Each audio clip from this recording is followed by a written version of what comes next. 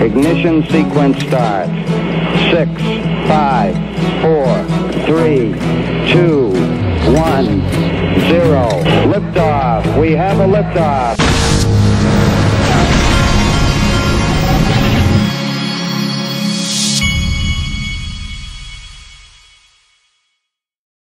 Hey everybody, this is the Digital Asset Investor.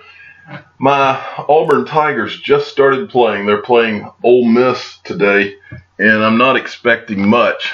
In fact, I believe if they lose today, I believe Auburn may fire Gus Malzahn, their head coach. So I'm sitting here about to watch this, but I decided I would go ahead and send you out this video um, because I, there was a couple of interesting things that I wanted to go over.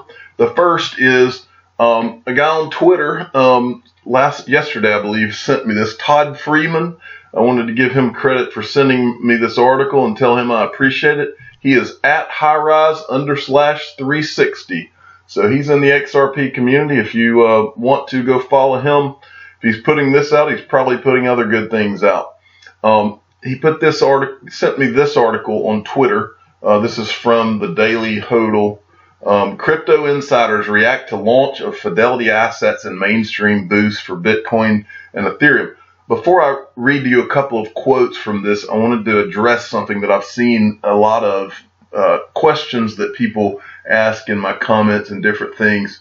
Every time I've learned that every time that I give a good piece of news that's good for crypto in general, if it does not mention specifically, like in Fidelity's case, if they don't m- mention specifically that the second that they open their doors that they're going to list XRP, everybody's like, yeah, but this is not good for XRP because they're not listing XRP. That means absolutely nothing. What we're talking about is a juggernaut that's that uh, is a new asset class, and this is not going to all happen overnight.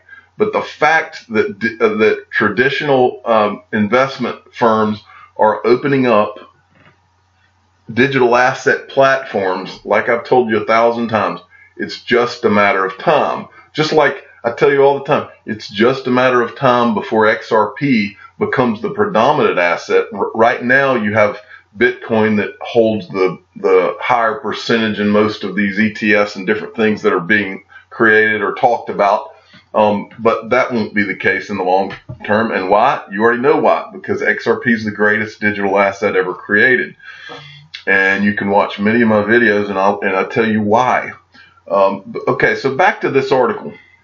What this article is is they went and and asked, um, and I love I love reading things like this to you because um, you can people can, can say all the time this guy or that guy um, he says this, but he doesn't know what he's talking about. That's why I love to give you quotes of people who are actually in either traditional finance or in the uh, blockchain industry, and let's hear what they have to say. Because I like for people who I like people who are smarter than I am, and I like for people that are in places higher than I am to validate what I'm saying. And that's the reason that I read these things to you, is because I can say all this stuff and you can point at me and say, oh, well, that's wrong, that's wrong, that's wrong. That's easy for someone to do. But, but I reinforce my arguments with what other people are saying who are in much higher positions than you or I. and I do it because that helps to validate most of my arguments. And so here we go. This is from this article Fidelity Digital Assets Mainstream Boost for Bitcoin and Ethereum. The first guy that they quoted in this article was uh, Bruce Elliott, president of ICOX Innovations. He says Fidelity's entry marks a huge step forward for mainstream adoption of cryptocurrency. For many reasons, seasoned investors have either been shut out of crypto markets or have been slow to invest up until now. This is a signal that financial markets and regulators are gaining clarity and comfort on the outlook for trading and comfort on the outlook for trading cryptocurrencies. Um, then, then they quoted Akbar Thobhani, I believe is how you say that, CEO of SFOX. Um, Fidelity Digital Assets focus on cryptocurrency custody and trading services for enterprise clients showcases the commitment and interest they're seeing from their clients, but will really hit a turning point when Fidelity offers cryptocurrency to their retail and 401k customers. I think that you know I've talked about 401k. This is where all of this eventually ends up. Not just 401ks, but in traditional accounts as well. Now, um, Andy Bromberg is quoted, co-founder and president of CoinList. Every announcement is a vote of confidence in the future viability of digital assets. We expect these moves to further increase the confidence of regulators and help drive the law forward. And finally, my favorite quote of all of these. This is Rahul Sood, CEO of Unikrn, which is an e- is sports betting um, platform that issued their own token. Um, he says crypto is going to break the status quo in fintech including securities. Fidelity will not be alone. Soon, asset managers will look at blockchain the way bank the way banking looks at the internet. Do or die. And that is exactly I'm going to put that in the title of this video. Um, and and that is um that's a great title. I'm typing this right now because I, I, I see that that's perfect for a title. Um, anyway, moving along. Now, I told you the other day about Genesis um, Global Trading. This is a uh, institutional trading platform over the counter. It's owned by the Digital Currency Group. Well, the other day, um, Genesis Trading CEO Michael Moro. Um, I don't know if it's it says Genesis Trading is what it's Global Trading is what it's called, but here it says Genesis Capital. Okay, so either one. Um, Michael Moro is the CEO, and he was on CNBC talking about the crypto market and the trends that he's seeing. Well, C3 Nick, who you should all follow, as I tell you all the time, I, I find he, he keeps putting up great stuff, and I'll keep covering it. And that goes for anyone. If you put up great content on Twitter and I see it, or you make me aware of it, I will cover it because uh, everybody has something to add to this community, and, and I'm open minded to, to what everyone has to say. And so um, at C3 under slash Nick, if you want to go follow him.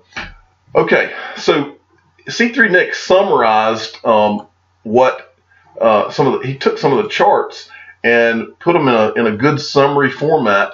Um, if you want to actually go watch the video, you go to go to his feed here, and he's got a link to this YouTube video that I just showed you. But but he what he summarizes here, and and these charts show first of all, let me establish kind of what the Genesis Trading Guide was talking about. He said that they lend out digital assets. And he said one third of the digital assets that they loan out are used for shorting and two thirds for other things. Okay. And so what, what these charts you're about to see are, you're going to see that there's a trend that has gone in the direction of XRP. And what's more interesting even than that and we'll go through all of his information here that C3 Nick has. But what's more interest, inter, what's more important and fascinating to me is this guy said that as we've moved along this year, that we've as Bitcoin has gotten closer to about where it is now, he is starting to see the shorts abandon that side of the trade and go long. And as that's been happening, as you'll see here, a higher percentage of, of the digital assets they're loaning is going in the direction of XRP. So as the market is going heading in the long direction, the more and more investors are going towards XRP. That is the way I heard his video. And so let's go through this information. XRP accounts for 17.8%, whereas Ethereum accounts for 3.7. Now this is the this is the chart of, of how things are represented now. Look, 62.6% in Bitcoin, 17.8% Ripple, um, and Ethereum's down here at 3.7%. This is in September, okay? And then as you scroll down, as a comparison, this is the data from March.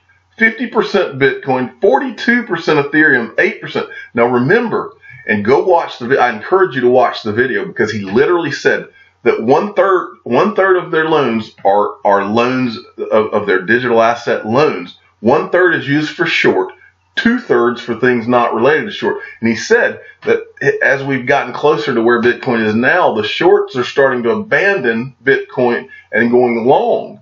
Okay. And so as that's happening, we're trying, there's a move towards XRP in their lending. That sounds good to me. Okay. this is the raw data. Question is, how do we interpret it? It is important to note that the lending can also be used as a short asset and is not only for going long. That's what kind of what I was just just talking about. The data shows, however, there's a considerable interest in XRP. So look at this. This is March of 2018, and then June, and now September. Bitcoin has gone up. Okay, and look at look at these others. Look how Ethereum. This is amazing that, that Ethereum's gone down. Um, and look look where XRP has gone unbelievable. Now that I find hard to believe. How on earth could there, unless they weren't, I, I have to assume that they didn't have, they weren't lending XRP back then for it to be zero. I have to assume that because that is, that's insane. But what, what have I told you over and over and over and over and over? What I have said is that when I first got into Bitcoin, I went through the same process that you probably went through and what eventually the institutions, then the average Joe of investors are, uh, eventually will go through. And that process is you buy Bitcoin and then you sit there and you're like, well, if there's Bitcoin, there's got to be these others that I haven't heard of. And you do your research, do your research, and you eventually end up at the greatest digital asset that's ever been created, which is XRP, which is better than any of them in, in, in all categories. That's just the way it works. And that's what this says to me. And that's what it should say to you. Um, now, I didn't, uh, you should also go through, I didn't go through all these in detail, but they kind of summarize the trends for Q3. Um, and they, they, summarize kind of what's been going on in here as well. You can read that. Um, well, uh, also there's only there's only two more days left for that 20% off to get a Ledger Nano S. You can still, that'll be in the description of all my videos. Go get your Ledger Nano S. They're normally 100 bucks. Now they're like 79 bucks for the next two days. So it's in the description of all my videos. I'm the digital asset investor. I'm not an investment advisor. This is for entertainment purposes only. Please subscribe, hit the like button, tell your friends and family to come listen to the digital asset investor. Thank you so much.